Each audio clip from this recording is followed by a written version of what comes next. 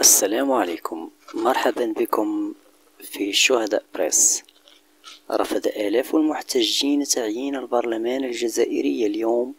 عبد القادر بن صالح رئيس مجلس الأمة رئيسا مؤقتا للبلاد في أعقاب استقالة عبد العزيز بوتفليقة. ويأتي تعيين بن صالح رئيسا مؤقتا تماشيا مع الدستور الجزائري. إلا أن كثيرا من المحتجين يعترضون عليه نظرا لكونه جزءا من طبقة حاكمة تمسكت بمقاليد الحكم في الجزائر منذ الاستقلال عن فرنسا سنة 1962 وبموجب الدستور الجزائري سيبقى بن صالح رئيسا مؤقتا إلى حين إجراء انتخابات رئاسية جديدة.